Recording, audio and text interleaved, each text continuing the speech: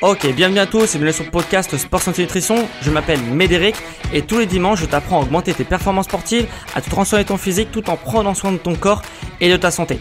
Alors aujourd'hui on va euh, parler justement des 4 mythes et erreurs autour du sport et de la nutrition, partie 2 parce que j'avais fait une première partie où je t'expliquais 5 mythes.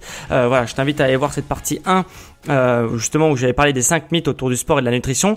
Aujourd'hui, on va poursuivre, on va faire la partie 2 où je vais t'apprendre 4 mythes et peut-être casser 4 mythes que tu as peut-être dans la tête, que tu as déjà sûrement entendu et, euh, et voilà, autour du sport et de la nutrition. Alors j'espère que tu vas apprendre des trucs et surtout que tu vas, comprendre que certaines croyances qu'on t'a peut-être répétées bah, ne sont pas forcément les bonnes.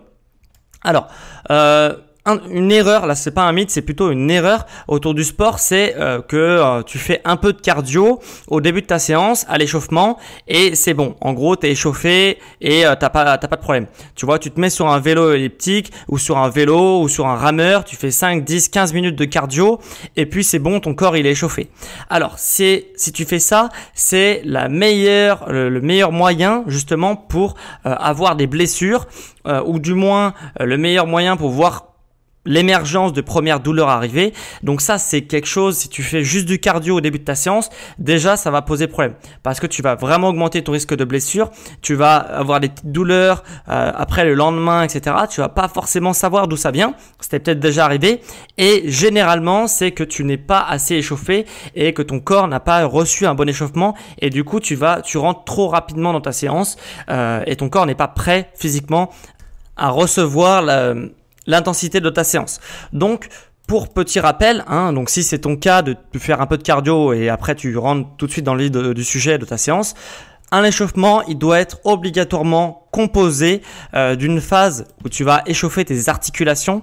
Alors là, euh, moi ce que j'aime bien travailler, c'est avec bâton ou avec élastique pour t'échauffer articulairement, donc à faire de la mobilité articulaire, justement pour redonner de la mobilité et de l'amplitude euh, à tes articulations. Hein, ça parce que si tu réalises tes séances de sport le matin, bah, c'est-à-dire que tu as passé 8, 9 heures, par exemple, endormi, donc tes articulations n'ont pas travaillé, donc elles ont, c'est pour ça qu'on a un peu rouillé le matin parce que tes articulations, eh ben, elles ont, elles ont pas, elles ont pas, elles se sont pas servies de toute leur amplitude et du coup on va devoir redonner de l'amplitude articulaire et de la mobilité à tes articulations. Donc ça c'est la première phase. En gros, si tu veux, si on prend l'exemple d'une voiture, ça correspond à mettre la clé dans le contact et à allumer la voiture. Donc ça c'est vraiment obligatoire, hein, même si tu t'entraînes le, soir. Euh, voilà, au travail, c'est très rare d'utiliser de la grande amplitude de, des articulations. Et justement, ça va être aussi indispensable, même le soir, de, de commencer par une phase d'échauffement articulaire où on va mobiliser les articulations pour allumer la voiture. Après, deuxième phase, c'est la phase cardio. Donc là, c'est la phase que probablement tu fais parce que on a toujours été habitué à faire une petite phase cardiovasculaire euh, pendant notre sport, même quand on était plus jeune et tout ça. Euh, voilà, au lycée, au collège, etc. On, a toujours commencé par une phase cardio. Généralement, euh, voilà, les sportifs en général commencent par cette phase cardio, donc c'est très bien. Et ça va permettre justement d'actionner la pompe du cœur, euh, voilà, d'augmenter le rythme cardiaque. Et d'augmenter le rythme cardiaque, ça va permettre de faire circuler le sang plus rapidement dans ton corps, hein, c'est logique, et du coup d'alimenter en, en, oxygène, mais pas que, aussi dans tous les substrats énergétiques qui circulent dans ton sang, euh, qui sont nécessaires pour contracter les muscles. Donc c'est vraiment indispensable. Et pour reprendre l'exemple de la voiture, c'est l'exemple, enfin c'est le c'est un peu la métaphore, c'est euh, voilà, tu passes la première sur ta voiture euh, au niveau de ta séance euh, où tu vas commencer à actionner la pompe du cœur, donc tu passes la première et ça te permet de démarrer, de commencer à démarrer ta séance. Et après, une fois que tu démarres ta séance, bah on va essayer de faire la technique de l'escalier. La technique de l'escalier, c'est tout simplement bah, reprendre tous les exercices. Par exemple, si tu travailles, je sais rien, des pectoraux. Admettons, tu travailles tes pectoraux et euh, tu as l'habitude de travailler euh, soit des pompes, soit euh, tout simplement du développé couché si tu es en salle de sport. Et bah, pour exemple du développé couché, bah si tu as l'habitude de soulever une barre de, de 10 répétitions à 70 kg, une fois que tu es échauffé articulairement et cardiovasculairement, eh bah, il faudra faire la technique de l'escalier pour monter progressivement jusqu'à tes 70 kg de travail. Et bah, du coup, tu vas faire tout d'abord barre à vide, hein, donc la barre elle fait 20 kg généralement, donc 20 kg, après tu rajoutes 30 kg, 40 kg, 50 kg, tu vois, sur un, en escalier jusqu'à arriver à tes 70 kg de travail. Donc c'est la base, l'échauffement, mais c'est vraiment hyper indispensable pour ne pas avoir de douleur et pour pas se blesser aussi. Hein, parce que tout le monde n'arrivera pas forcément à la blessure. Par contre, c'est très très très fréquent d'avoir des douleurs après ces séances de sport et on ne sait pas forcément d'où ça vient. Donc ça, c'est la technique de l'escalier, c'est à mettre aussi et à ne surtout pas oublier. Et ça correspond en fait pour la voiture à passer tes vitesses. Donc tu étais en première après ton échauffement, bah, tu vas passer tes vitesses progressivement pour arriver jusqu'à la cinquième et dernière vitesse et pour arriver à plein régime dans ta séance et on rentrer en cœur de séance. Donc très très important. Euh, surtout, voilà, c'est une grosse erreur de pas s'échauffer ou peu s'échauffer en faisant juste un, échauffement cardiovasculaire. Alors, deuxième chose, et là euh, c'est plutôt un mythe, c'est que les femmes en musculation, si elles font trop de musculation, elles vont ressembler à un homme, à un bonhomme, euh, voilà. Et ça, bien sûr, c'est totalement faux. Alors, pour deux raisons, pour des raisons, il y en a une qui est évidente et une que tu vas peut-être découvrir. La raison évidente, c'est que bah, forcément, les femmes, elles ont 10 fois moins de testostérone. Elles ont vraiment 10 fois moins de testostérone que l'homme. Donc, qu'est-ce que ça veut dire la testostérone hein? C'est un peu l'hormone euh, reine ou l'hormone reine pour la construction de tout tissu dans ton corps. Donc, les tissus, bien sûr, euh, les muscles et les ligaments. Et du coup, elles ont 10 fois moins de testostérone, donc 10 fois moins de potentiel de croissance musculaire que l'homme, donc 10 fois moins de masse musculaire à plein potentiel. Voilà. Donc potentiellement, euh, voilà, un homme a 10 fois plus euh, peut développer 10 fois plus de masse musculaire que euh, la femme. Donc bah déjà pour ressembler à un homme, ça va pas être le cas parce qu'elle va être peut-être très dessinée, mais mais bon, elle va avoir quand même 10 fois moins de muscles au maximum du potentiel de la génétique. Hein, on parle toujours ça. Donc déjà, elles devront faire 10 fois plus d'efforts pour avoir les mêmes résultats.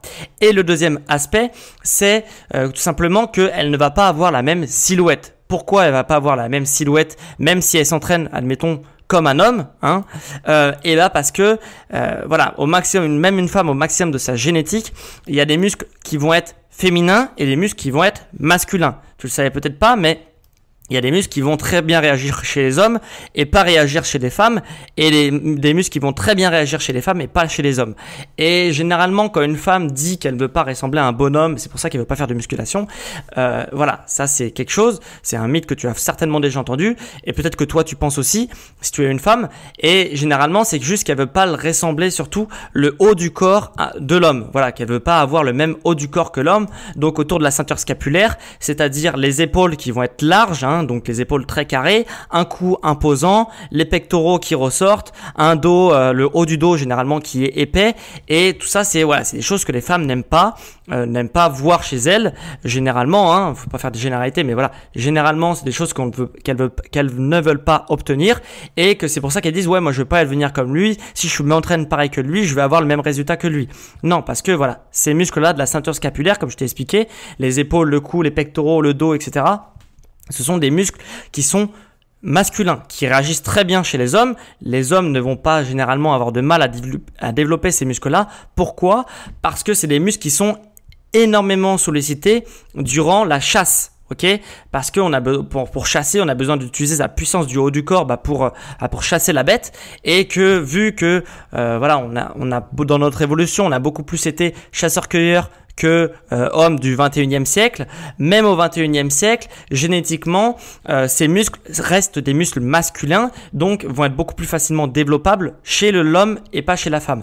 Donc je vous rassure, euh, si tu es une femme, tu ne vas pas ressembler à un homme si tu t'entraînes, même si tu t'entraînes comme un homme et que tu fais de la musculation. Voilà, il y a des muscles qui vont réagir très bien chez toi, notamment au bas du corps et pas justement haut du corps. Les, tu vas pas avoir un haut du corps extrêmement développé, même si tu t'entraînes exactement, par exemple, comme ton mari, qui tu fais la même séance que ton mari, et bah lui va réagir différemment que toi et il va avoir une transformation physique qui va être différente de la tienne. Voilà, donc ça c'est pour le deuxième mythe autour du sport. Et le troisième mythe et dernier mythe autour du sport, après on aura un mythe nutrition, c'est si je fais des abdominaux, euh, voilà, si je fais des abdominaux, je vais perdre de la graisse au niveau du ventre. Ça c'est totalement faux. Hein. Euh, voilà, je l'ai déjà dit dans mon podcast, mais bon, des petites piqûres de rappel, euh, ça fait pas de mal. Et puis même pour ceux qui écoutent pas tous mes podcasts, c'est bien de le rappeler. Euh, voilà, si tu m'écoutes pas tous mes podcasts, et bah justement, si tu fais des abdominaux, tu ne vas pas perdre au niveau du ventre. Euh, tu, ne peut pas localiser une perte de masse graisseuse. Hein. Si tu fais euh, des exercices pour bosser tes biceps, tes triceps, tu vas pas perdre au niveau des bras non plus. Ça marche exactement pareil. Et si tu fais des crunchs pour développer tes abdominaux, tu ne vas pas perdre non plus au niveau du ventre. D'un point de vue général, toute personne a des zones de stockage primaires et secondaires. Ok? Donc c'est-à-dire que généralement les hommes vont stocker au niveau du ventre et généralement, les zones primaires chez la femme vont être généralement autour des fessiers et des hanches. Voilà, c'est général, c'est pas tout le monde pareil, mais gros, globalement, si on fait un sondage, voilà, c'est les zones qui apparaissent en premier, les zones primaires chez les femmes et chez les hommes. Donc les hommes le ventre et les femmes plutôt bas du corps autour des fesses et des hanches. Voilà, ça c'est les zones primaires, c'est génétique, c'est comme ça, il n'y a pas de choix. Et après, secondaire, il y a des zones secondaires. On peut stocker à la fois, par exemple, chez euh, chez, les, chez les hommes au niveau du ventre et puis au niveau des bras, au niveau des cuisses, au niveau des mollets, au niveau des poignées d'amour. Voilà, ça va être des zones secondaires qui vont euh, en priorité, enfin en priorité ça va être stocké au niveau du ventre et après la graisse qui reste, elle va être stockée dans des zones secondaires et tu n'as pas le choix. Si tu stockes à la fois dans le ventre et dans les bras, eh bah t'es comme ça. Tu vas, c'est pas en faisant des exercices au niveau du ventre et des bras que tu vas brûler euh, les calories, enfin la masse graisseuse qu'il y a autour de ces muscles-là. Tu vas fondre et ça, c'est c'est ce que je te dis. C'est, euh, en gros, c'est génétique. Donc, pour perdre du ventre, il faut que tu descendes en masse graisseuse de façon globale. Et au bout d'un moment, bah, tu vas commencer à décharger euh, la masse graisseuse au niveau des zones de stockage secondaire. Et puis après, euh, tu vas petit plus tu vas descendre en taux de masse grasse, plus tu vas perdre dans tes zones primaires, donc au niveau du ventre ou au niveau des hanches et des, fesses pour les femmes. Hein, voilà. Après, tu vois, tu, de toute façon, tu, généralement, les gens savent où ils stockent, où ils ont tendance à stocker, et euh, les zones où ils stockent le plus et ils stockent le moins. Donc voilà. Donc tu vas d'abord perdre dans tes zones secondaires et après dans tes zones primaires. Et ça va passer pour descendre en masse graisseuse par de la nutrition, de la nutrition intelligente, de la nutrition qui va vraiment, euh, voilà, en fonction des besoins de ton corps et de tes activités, et de ton activité et de ta génétique, eh ben tu vas pouvoir t'alimenter correctement et comprendre ce que ton corps a besoin pour descendre en masse graisseuse, hein, parce que tout le monde n'a pas pas besoin de la même chose. Voilà. Et au niveau du sport, qui va aussi t'aider à descendre en masse graisseuse, et eh bah avec des exercices, la meilleure chose à faire pour descendre en masse, masse graisseuse, c'est de faire des exercices polyarticulaires qui stimulent plusieurs articulations, hein, et qui stimule du coup, bah, vu qu'il y a plusieurs articulations, il y a plusieurs muscles qui vont participer pour un seul mouvement, et du coup ça va stimuler à la fois tes muscles, donc plusieurs muscles en même temps, donc ça va être très énergivore, et en plus ça va stimuler la coordination musculaire, hein, parce que comme tu fais plusieurs muscles en même temps, tu actionnes plusieurs muscles en même temps, bah, tes muscles vont devoir se coordonner pour pouvoir réaliser le mouvement, et tu vas utiliser la force de plusieurs muscles. Donc ça va être très très très énergivore ce type d'exercice et c'est ça qui va te permettre de descendre en masse graisseuse et du coup de, par exemple, si tu stockes au niveau, au niveau du ventre, bah de descendre en masse graisseuse aussi au niveau du ventre. Donc voilà, ça va brûler énormément de calories, alors que la pire chose à faire pour brûler au niveau du ventre, en fait, c'est de faire des crunchs. Hein. Donc le crunch, c'est, euh, tu sais, si tu sais pas trop ce que c'est, c'est l'exercice, tu as certainement vu, mais c'est l'exercice où tu es allongé par terre sur un tapis et puis tu réalises des flexions de buste là, de buste pour muscler tes abdominaux. Voilà, ça c'est le crunch, c'est la pire chose à faire pour brûler de la graisse au niveau du ventre, hein, parce que tout simplement les muscles des abdominaux, ce sont des muscles déjà très très très endurants, donc ils vont pas se fatiguer tant que ça avec du crunch, même si ça brûle, même si ça fait mal, ils sont beaucoup plus endurants que ça, et heureusement, sinon on serait toujours avachi et on pourrait pas avoir le buste droit. Donc c'est des muscles très très endurants, et en plus c'est un exercice d'isolation.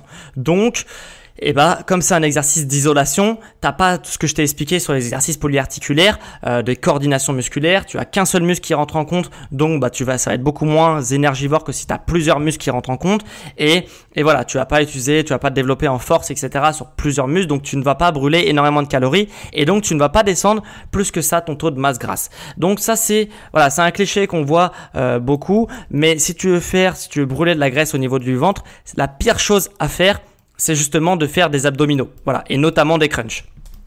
Donc ça c'est pour le deuxième mythe euh, au niveau sport et on va voir un mythe nutrition, le dernier du podcast, c'est tout simplement de se fier uniquement aux calories et de regarder tout le temps les calories, les calories, les calories. Ça c'est une grosse erreur.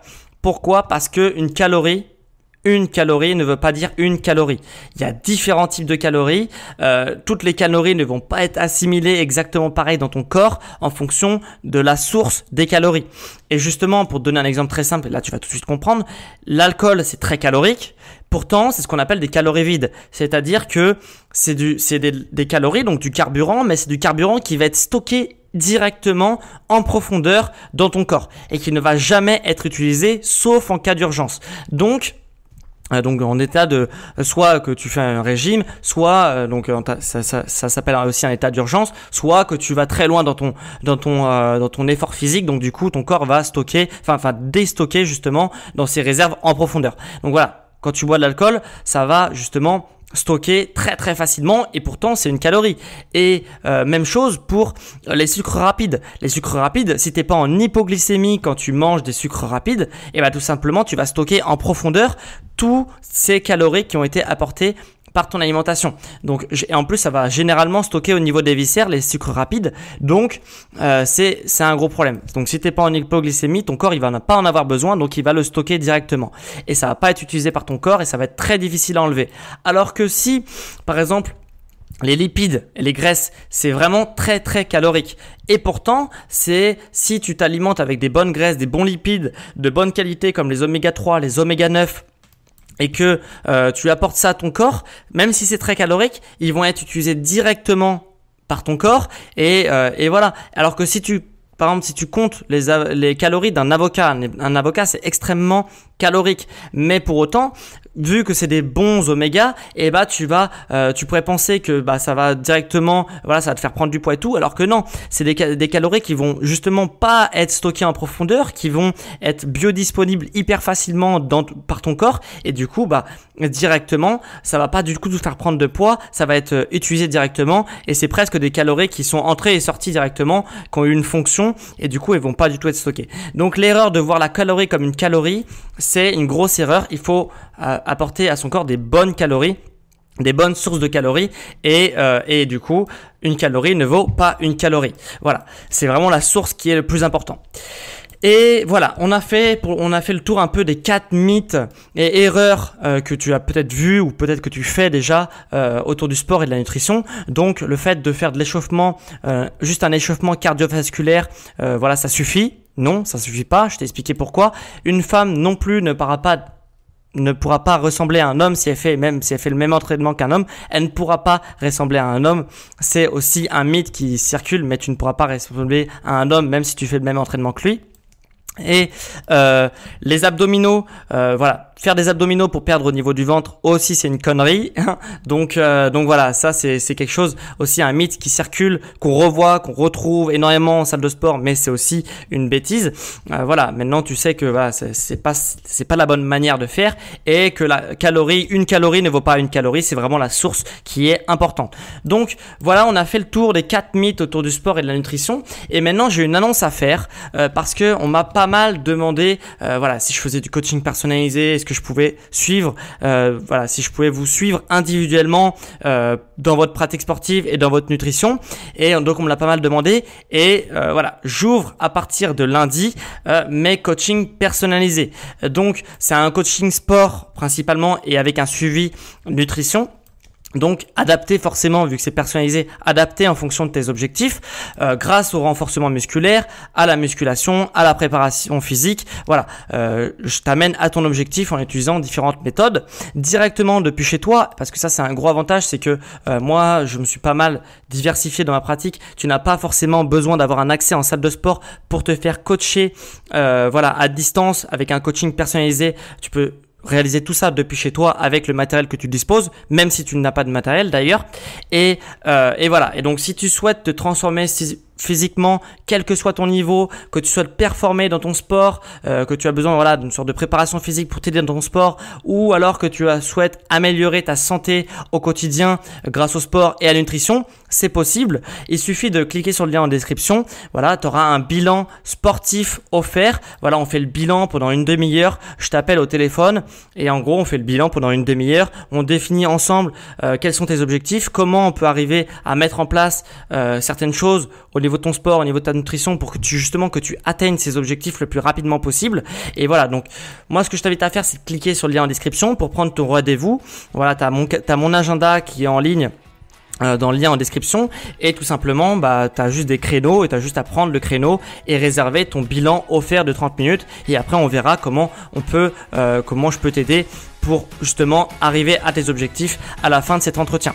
Voilà, donc on en a fini pour ce deuxième épisode, donc la partie 2 des 4 erreurs et mythes autour du sport et de la nutrition. Et on se retrouve quant à nous dimanche prochain pour un prochain épisode sur le sport, la santé et la nutrition. Allez, ciao les sportifs